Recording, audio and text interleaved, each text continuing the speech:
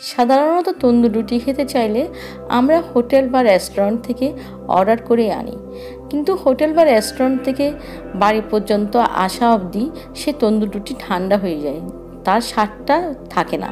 সেজন্য আমি আজকে আপনাদের সঙ্গে শেয়ার করতে চলেছি বাড়িতে কি করে হোটেল বা রেস্টুরেন্ট স্টাইল তন্দুর রুটি তৈরি করবেন সেই রেসিপিটি আপনারা এই রেসিপিটি ফলো করে বাড়িতে হোটেল বা রেস্টুরেন্টের মতো তন্দুর রুটি তৈরি করুন এবং গরম গরম নরম তুলতুলে তন্দুর রুটির স্বাদ উপভোগ করুন।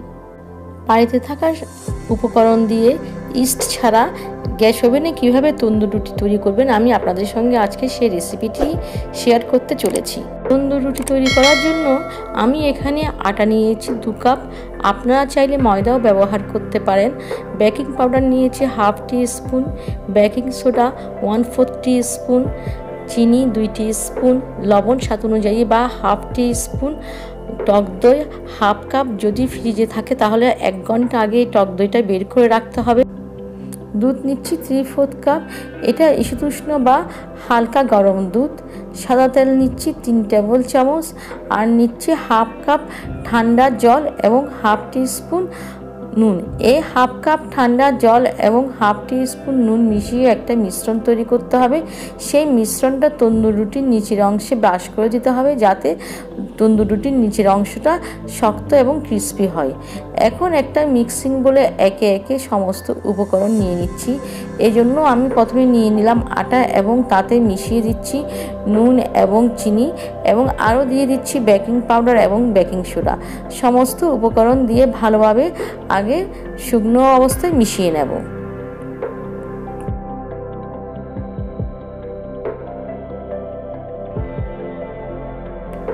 শুকনো উপকরণগুলি ভালোভাবে মেশানো হয়ে গেছে। এবার আমি এতে অ্যাড করে দিচ্ছি তিন টেবিল চামচ সাদা তেল। এখন এই তেলটা সমস্ত শুকনো উপকরণের সঙ্গে ভালোভাবে মিশিয়ে দিচ্ছি। এখন এতে অ্যাড করে দিচ্ছি টক দই। এই টক দই যদি ফ্রিজ থাকে, তাহলে এক ঘণ্টা আগে ফ্রিজ থেকে বের করে রাখবেন। টক দই মেশানোর পরে সমস্ত উপকরণ আলতোভাবে মিশাবেন, চেপে চেপে মিশাবেন না। এভাবে আলতো করে সমস্ত উপকরণগুলি প্রথমে মিশিয়ে নেবেন। এবার হালকা গরম দুধ ধীরে ধীরে অল্প অল্প করে মিশিয়ে ভালোভাবে মেখে নেবেন। সমস্ত দুধ একেবারে দেবেন না, অল্প অল্প দুধ অ্যাড করে এই ডোটা মেখে নেবেন।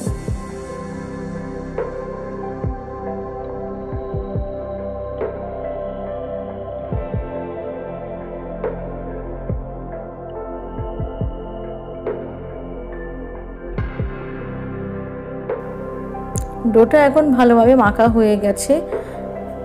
খুব সফট হয়েছে। দেখুন কতটা সফট হয়েছে। এখন আমি ডোটা রেস্ট রাখব তিরিশ মিনিটের জন্য। রেস্ট রাখার আগে ডোয়ের উপর এভাবে সাদা তেল ছড়িয়ে দিতে হবে যাতে ডোটা ড্রাই হয়ে না যায়। এবার ঢাকনা দিয়ে ডোটা রেখে দিচ্ছি তিরিশ মিনিটের জন্য রেস্টে তিরিশ মিনিট পরে ফিরে আসলাম। আপনাদের হাতে যদি আরও সময় থাকে তাহলে আপনারা ডোটা আরও বেশিক্ষণ রেস্টে রাখতে পারেন। অর্থাৎ আপনারা চাইলে 30 থেকে এক ঘণ্টা অর্থাৎ আপনারা চাইলে 30 মিনিট থেকে এক ঘণ্টা পর্যন্ত এটা রেস্ট রাখতে পারেন। 30 মিনিট পরে ডোটা আবার ভালোভাবে মেখে নিচ্ছি এবং ডোটা এভাবে ভালোভাবে মেখে নিয়ে ডোয়ের থেকে কিছু লেচি কেটে নিচ্ছি। লেচিগুলো একটু বড় করে কাটতে হবে।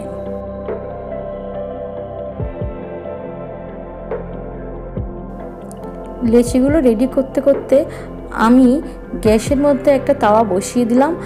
এই সময় গ্যাসের ফ্লেম কিন্তু লোতে রাখতে হবে।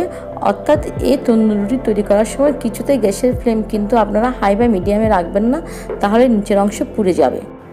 লেচিগুলো রেডি করার পরে আমি একটা লেচি নিয়েছি। বাকি লেচিগুলো ঢাকনা দিয়ে রেখে দিচ্ছি যাতে ড্রাই হয়ে না যায়।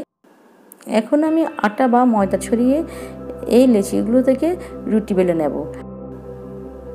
এই রুটিটা খুব পাতলা করে বেলবেন না। অর্থাৎ আমরা সাধারণত যেরকম রুটি খাই, সেরকম রুটি বেলবেন না। তার চেয়ে কিছুটা মোটা হবে। কতটুকু মোটা হবে আমি সেটা আপনাদেরকে দেখিয়ে দিচ্ছি। দেখুন, ঠিক এরকম পুরুত্বের করে আপনারা রুটিটা বেলবেন। এবার আমি যে ঠান্ডা জল আর নুনের মিশ্রণটা নিয়েছিলাম, সেটা ভালো করে মিশিয়ে দিয়ে রুটির একদিকে ব্রাশ করে দিচ্ছি। এটা কিন্তু উভয় দিকে ব্রাশ করবেন না একদিকেই ব্রাশ করবেন এবং যেদিকে ব্রাশ করবেন, সেই অংশটার নিচের দিকে রাখবেন। অর্থাৎ সেই অংশটা যখন তাওয়ায় দেবেন, তখন সেই অংশটা নিচের দিকেই থাকবে। গ্যাসের ফ্লেম অবশ্যই লোতে রাখবেন এবং একটা ঢাকনা দিয়ে অপেক্ষা করবেন দেড় থেকে দু মিনিটের জন্য। দেড় থেকে দু মিনিট পরে ঢাকনাটা উল্টিয়ে দেখবেন। যদি দেখেন যে রুটিটা এভাবে ফুলে উঠেছে, তখন গ্যাসের ফ্লেমটা বাড়িয়ে দেবেন এবং অর্থাৎ হাই করে দেবেন এবং এভাবে তাওয়াটা উল্টিয়ে রুটিটা সেঁকে নেবেন।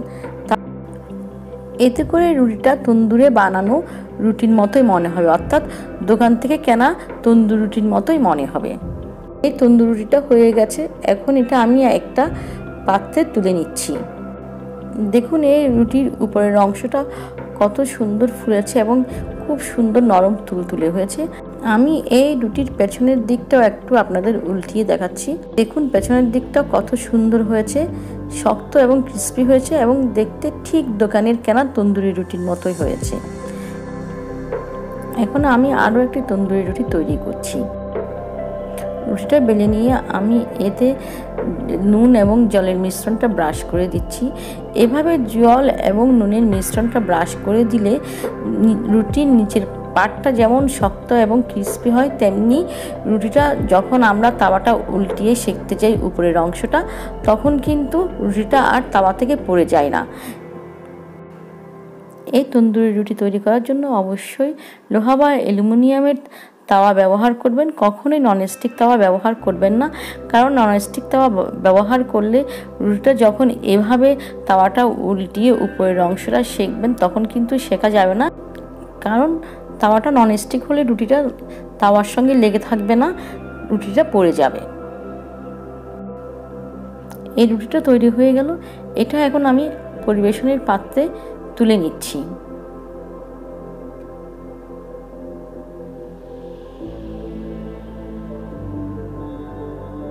আমি একটু পেছনের দিকে আপনাদেরকে উল্টিয়ে দেখাচ্ছি। দেখুন, কত সুন্দর হয়েছে।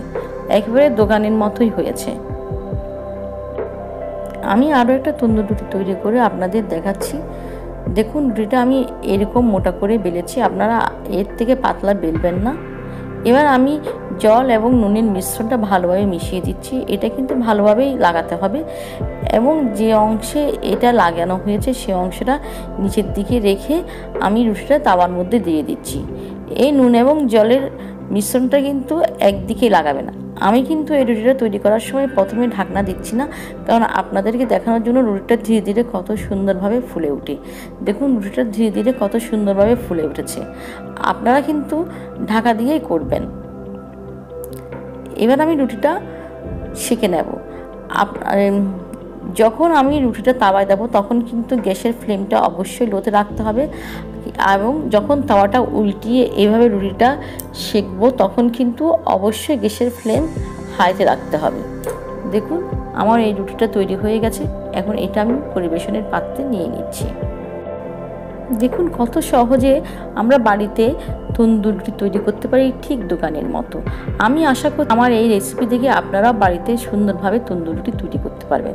আমি একটা রুটি ছুঁয়ে দেখাচ্ছি, দেখুন কত নরম তুলতুলে হয়েছে। আমার এই রেসিপিটা ফলো করে আপনারা বাড়িতে তৈরি করে ফেলুন নরম তুলতুলে তন্দুরি রুটি এবং এটা পরিবেশন করুন মাটন রেজালা সহযোগে। এই মাটন রেজালা রেসিপিটা আপনারা আমার চ্যানেলে পেয়ে যাবেন। কয়েকদিন আগে আমি আপলোড করেছি। ভিডিওটা ভালো লাগলে লাইক এবং শেয়ার করবেন। নতুন বন্ধুদের কাছে অনুরোধ রইল, চ্যানেলটা সাবস্ক্রাইব করার জন্য পুরনো বন্ধুদের অনেক অনেক ধন্যবাদ।